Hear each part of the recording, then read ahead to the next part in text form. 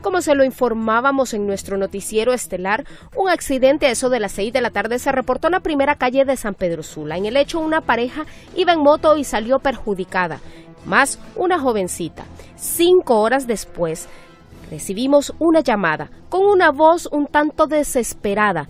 Nos pedían ayuda. Se trataba de los parientes de la joven Dunia Vanegas Aguilar de 22 años. Increíblemente, en el Instituto Hondureño del Seguro Social no la habían atendido y estaba agonizando.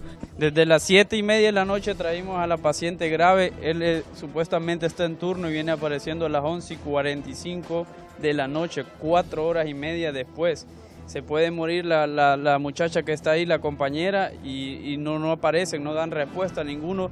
Y como por arte de magia apareció el médico, un neurocirujano, que tanto suplicaron en estado un poco extraño, porque en lugar de ingresar directamente a atender a la paciente, comenzó a tomarnos fotografías con su celular. Era medianoche y no sabemos si venía de trabajar, de descansar o de inaugurar la feria juniana, con un rostro que es evidente y juzgue usted mismo.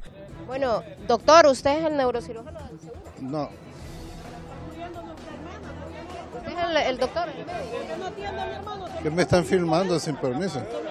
No, es que los, los, las personas aquí, mi nombre es Carla Escoto, doctor, las personas, las personas están, las personas están indignadas porque lo están esperando.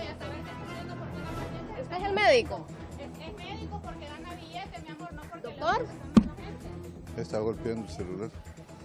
Bueno, pero ¿es el médico usted o no es el médico? No. ¿No es el médico? ¿Es el médico o no es el médico? Sí, voy a publicar eso también igual que ustedes. ¿Pero es el médico o no es el médico? Eh, hola, ¿cómo está? Bueno, y así llegó el respetable neurocirujano a la sala de emergencia del Seguro Social en San Pedro Sula, a salvarle la vida a una derechohabiente. Como no se identificó entre los pasillos y con temor nos dijeron que se llamaba doctor Urcullo. No lo sabemos porque no nos interesaba. Nuestra intención no es difamar a un médico, sino hacer conciencia entre las autoridades. Conductor de rastra se da la fuga en la CA5 a la altura de Santa Cruz de Yojoa. Aparentemente, este se durmió en la carretera y fue a impactar con un camión y un bus que estaba en un local al lado de la CA5.